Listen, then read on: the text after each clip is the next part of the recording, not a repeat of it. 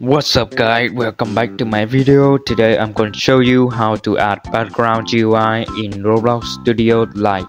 But before we start the video, make sure you press that like button and subscribe. Now let's get started. You might have seen this type of GUI in a lot of games, but did you know that you can easily add it into your games? Let me show you how. First we are going to get the model ID. This model was made by Forever HD team, which is why it's completely safe to use. Now we will copy the ID and hop into Roblox Studio Lite. Okay, now you want to click on Tools box, paste the ID in and click Get. Then wait a little bit and you should see this folder right here. Now select this folder and click copy, then select replicate storage and click paste. Okay, you can remove this folder now. Let's open this and you will see the icon and readme. First, the icon, you can check it and read it if you want. And next is readme.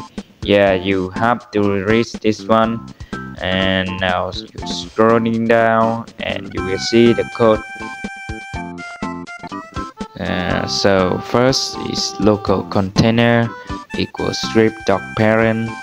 Uh, meaning is referred to the parent object of this script next is local icon equals require container dot icon uh, is load the icon module located inside the container folder. And down here is the icon.new uh, is the button that we are going to edit later in the video. Now let's try to click play and you can see there's nothing here with this error in the output. It said the require only working on your own game so let's publish this and we'll see what it look like in the game. As you can see, there's a button at top of your screen. It says example with a heart icon. Now let's get back to Studio Lite and I will show you a few things you can do. Now we are in Studio Lite. Let's open replicated storage, open the folder and open readme I'm gonna clean this up because we only need the script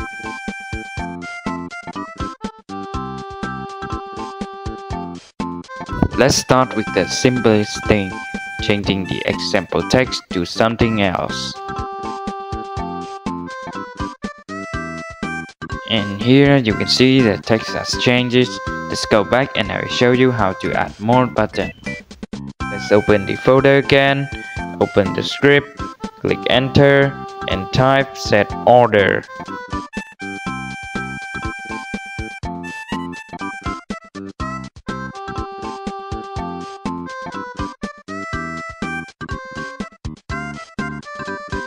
This is the first button so I will put the number one in there.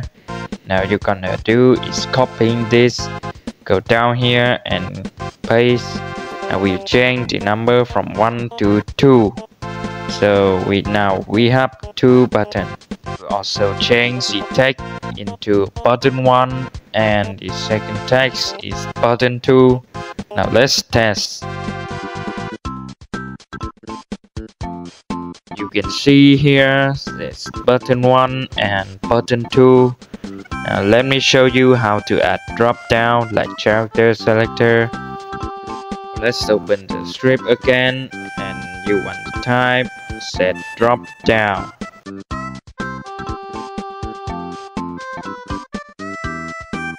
Now click enter and then you want to copy the button up here and then go down here press paste and then close. Now I will change the tag into drop and we will test now when I click this button one, it will show the drop one button and you can open and close this. So yeah, that's all for today guys. Thanks for watching. Don't forget to leave a like and subscribe and have a nice day.